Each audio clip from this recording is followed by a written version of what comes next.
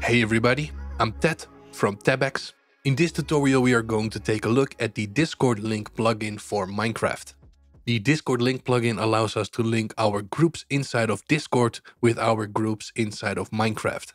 And also allowing players to link their account to your Discord server. You can also prevent players from walking or even joining your server if they didn't link their Discord yet.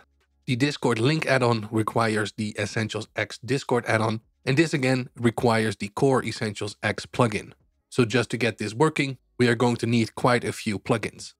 Looking at my plugins folder, you can see I have Essentials X, Essentials X Discord, the link add-on, LuckPerms to manage our permissions, and also Vault, and this is needed for our groups in-game. Normally, we would also add the Tebex plugin, but in this tutorial, we will focus on making the connection between our Discord server and our Minecraft server.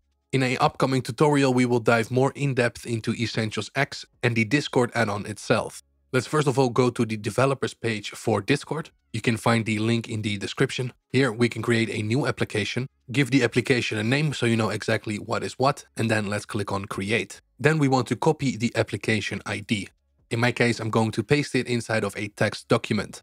If you want to, you can add a icon to the bot. I'm going to skip this for now and enable presence intent, server members intent, and also the message content intent. Let's uncheck that this is a public bot and then let's save our changes. So let's reset our token. Let's also copy this.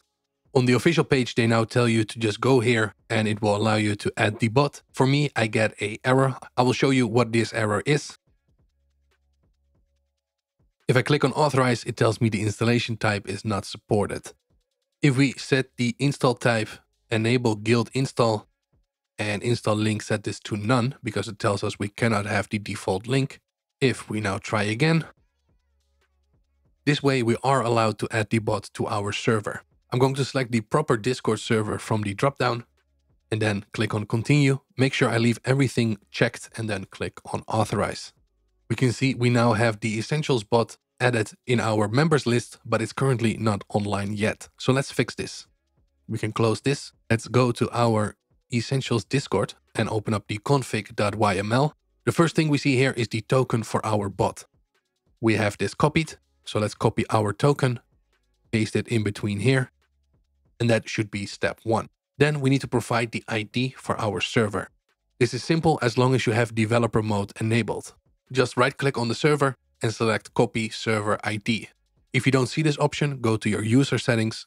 Then under advanced, you can enable developer mode. With our server ID copied, let's paste that over here. Then it tells us to provide a invite link. Let's go to our server and then click on invite people. We can then edit our link, make sure it never expires and it doesn't have any limits. Optionally, we can also grant a membership. Let's leave this disabled for now. Let's generate a new link and then let's copy this invite link. And then let's replace that link or invite code over here. This way players will automatically get the proper Discord invite link when trying to link their Discord with your Minecraft server. We will only focus on the connection for now. I am going to change these two channels over here though. For the general channel, I'm going to copy the channel ID and then replace both these over here. You could separate them. For these demonstration purposes, I'm just going to use the same channel for both. Let's save and exit, and then let's restart our server. Next time, we will just reload Essentials X. For now, I'm just going to restart. And I'm also going to join the server. We now get a message saying the server has started, our bot is online. If we join the server and we say something, you can see that this is now also relayed inside of our Discord channel. So that connection is working properly there are more features and settings that we will look at in a upcoming tutorial. Let's for now continue with setting up Discord link. Let's operate ourselves. So I'm going to say LuckPerms editor to open up the editor and make a new group. Let's copy this over in game. There we go. So now under groups, I'm going to add a new group. Let's call this VIP with a weight of one. The parent is default. Let's add this group. And then let's also add these changes to the server. Let's then go inside of our Discord link folder and find the config.yml. Let's first look at the link policy. By default, this is set to none, meaning if the player has not linked their Discord, there are none or no restrictions. The two options you have is freeze and kick. This makes sense depending on how you have configured your servers. If you only have one server, automatically kicking them will make it very hard for them to be able to link their Discord.